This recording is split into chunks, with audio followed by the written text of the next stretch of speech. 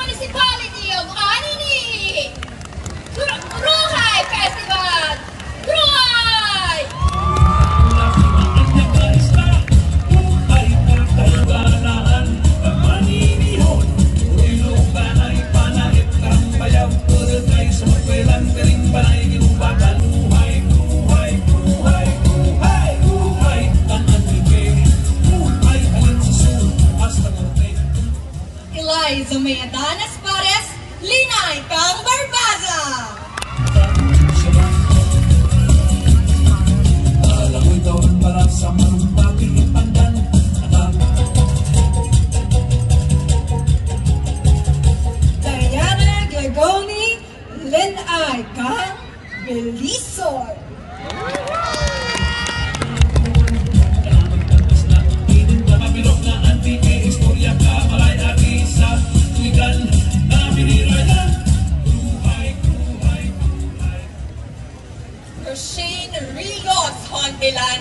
恋爱